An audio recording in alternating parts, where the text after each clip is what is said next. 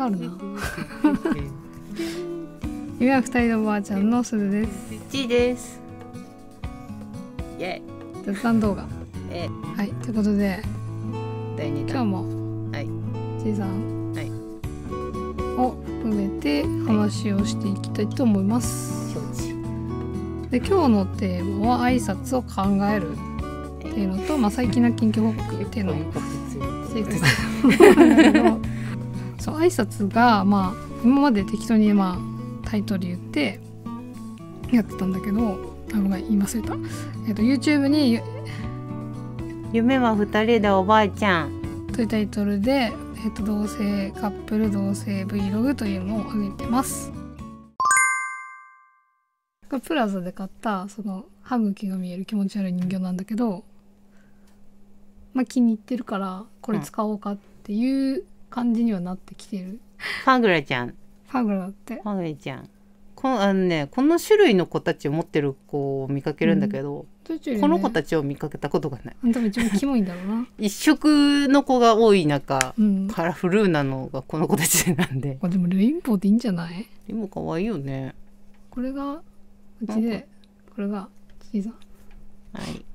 イエイイエイまあこれでいいかタイトル言って雑談動画でいい？これでさこの子たちはさ「てってってってってって」でいいんじゃない雑談動画鈴木雑談動画ってなんかなんかなバイバイはバイバイさよならのやつバイバイでいいのあじゃあフォグレちゃん書いて。それはダメ。ダメな。書くのはダメ書くのはもうアイコンがあるから後ろの。あそっか。あファグレちゃんだ。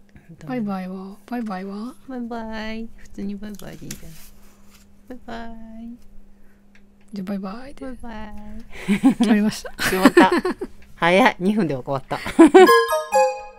最近の近況報告をじゃあして今日は終わろうかな。入る入る入る終わろうかなと思うんだけど、はいまあ、ちょっと前の動画で私が一人で話してる時に、まあ、最近体調崩しまくってる。っていう話を。30を超えるとね。そう話したんだけど、まあ、まずコロナにかかっ と私がコロナにかかり、た、うん。なんか喉の調子悪いなーって言ってうん。病院にその日あのちょっと会社招待してなんか喉痛いっす、病院行っていいっすかって言ったらあもうそこ行けって言われたんでうん。病院行ったら多分喉の風邪だねって言われてうん。お薬もらって帰ったんだけどその次の日に38度近くの熱が出て、うん。あ久しぶりにこんな熱出たなっていうのでとりあえずまあコロナの診断受けしあの検査受けてこうかっていうのでうん。受けに行ったら、まあ、あのその頃には37度ぐらいに下がってたんだけど下がるのは早かったんだよねそうすごいすごい早かったんだけどあのココロナでしたってすごいあの先生にめっちゃ笑顔で言われて「わお!」ってなって。なんかね病院あうんちょっとは挟んじゃうけどあの病院すごいいっぱいコロナ患者いなかった？隔離で隔離であの体温を測ってる人すごいいっぱいいたよね。そうなんか隔離まあ隔離部屋まではいかないんだけどパーテーションされててそこでなんかそれぞれ、あのコロナの検査鼻に突っ込むやつ、うん。されるんだけど。前より増えてたと思った、そうだねなんか予約いっぱいだったもんね。そうそうそうシュタンの時 その後2日後ぐらいにシュタンに移っちゃって、そうなんか39度以上の熱が出ててシュタンしんどはかった。でそれが23日続いちゃってたんだよね。そうだね。そうなんかもうその熱出たのが夜中だったからうん。次の日に病院行こうと思ったら日曜日だったんだけど日曜日でもやってる病院だったから電話したらもう今日全部埋まってますって言われちゃって、ね。うん。で次の日行ったんだよね。うん。嗅覚と味覚がなくなって。そうそうそうそうそう。それがなんか私が5日間ぐらい続いてもうなんか味ない何も食べてもでも私の楽しみ奪われたって言ってうん。嘆いてったら、シュタン大丈夫って言ってたのにシュタンも2日間ぐらいだ2日間ぐらいだったね。ったんだよね。私、うん。意外とまださ鼻鈍感なんだけど。あのねあの匂いが前よりちょっと感じづらくなってるよね。ちゃったね。そのゴミの匂いうち結構敏感だったからゴミの匂いとか、まあ、ラット飼ってるんだけどラットのあのトイレの匂いとかって結構してたんだけど今ね感感じじないんだよあんまり。近くで匂いしないんなんかそう匂い嗅がないと全然しないくらいになっちゃったからちょっとまだ完全に後遺症としては治ってないかもしれないね。自分の匂いが分かんないとかあの、うん周りの匂いが分かんないってやっぱ怖いなって思った。他の人は臭いんだろうけど自分が分かんないから怖いなそう。なんか味もさ匂いも分かんないから腐ってるもの食べても分かんないんだよね。そこまでじゃないけどね今は でそれがあって、ようやく治ったと思ったら私が今度胃腸炎になりまして、ね。で胃腸炎にプラスして食物アレルギーが出る。マジでマジでなんなん食べ物 食べ物がね。なんかおかゆ生活なんか5日間ぐらい薬出されたんだけど薬飲んでる間はおかゆしか食べちゃダメだからねって先生に言われてうん。マジかまだまた私から食を奪うって思ってたらなんか昨日本当になんかもう昨日で胃腸炎3日目ぐらいだったから。うんまあちょっと増やしていいかなと思そう。う今気持ちもあったんだよね。そう消化にいい食べ物を調べて、うん。なんか買い物して食べれるっていう風に思って食べててうまいうまいって言ってめっちゃ食べてたら昨日の 夜中夜中に唇腫れ出してうん。そしたらなんか顔の下半分パンパンになっちゃってだとジンマシンか。ジンマシン出てまあ熱は出なかったけどなんかちょっと。怖いよってなってて口の中も腫れちゃってたから、このまま喉いったらどうしようってなってうん。朝方4時ぐらいにうん。叩きシュッタン叩き落としてなんか なんかひどくなってるんだけど。ってなんかちょっと泣き泣きそうになりながら。一応そこで市のなんだろうえっ、と病院病院救急車にあの呼ぶかどうか迷った人用のダイヤルっていうのが、まあ、各県に用意されてるらしくて、まあ、やっぱ救急じゃない限りは基本的に様子見はなるんだけど、うん。小さな今回の場合はジンマシンは良さ別にあの様子見の対象だったみたいなんだけど顔に出てるとか口に出てるのって粘膜に出てるんだって。だから食道っていうか何？呼吸器官か。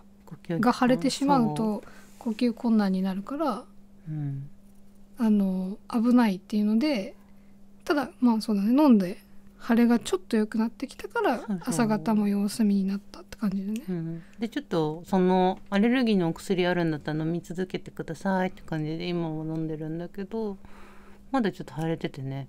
腫れてるけど滑舌悪いの。まあだいぶ収まってきたからそうだね。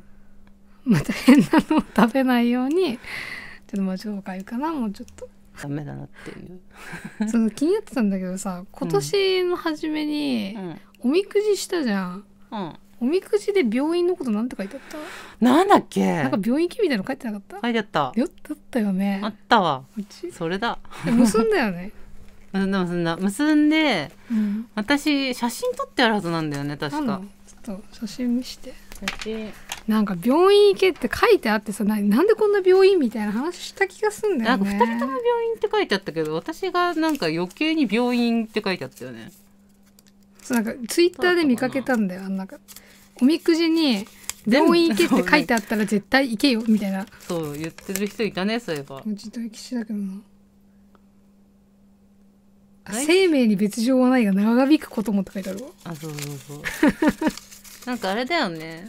そんなさ大吉だから持って帰ってきたけど割となんかうちいつも持って帰るねん。持って帰私って。もあれだいつもは持って帰るんだけど今年はなんか結んだ方がいい気がするって言って結んだんだよね。いつだっけ？今年っておみくじ1個しかしあしてるわ。1日？これ持って帰ってない？福銭福銭。猫ちゃんのやつ？猫ちゃんの。あこれでも五円玉だ関係ないや。これ中身結んでた気がするわ。うーんとね健康予防接種はしっかりと、予防接種か？見学今からでもこれでもこれ多分ワンちゃんのやつだからな。そうそうそう。で冒険大いに旅行すべし。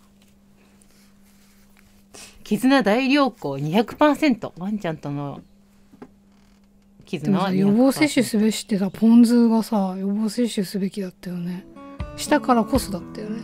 予防接種っていうかまああの あちょっと早めにね。に早めに行ったからこそだったじゃん、早めに病院行ったから、うん。ちょっとおなまあ、そこまでおなんかすぐに。今年猫の神社行った？そう猫の神社行ったんだけど猫の神社のやつにね載せてない。末吉だったんだよね。気を強く持てば安心どういうこと？まあでも大丈夫大丈夫。で 学問が拷問に見えてた。拷問のこと書いてあった怖い危う し全力を尽くすうん。病。気を強く持てばだからあの病は気からってやつですねやっぱ。うん気が弱ってたんですね。なんか季節の変わり目がかなり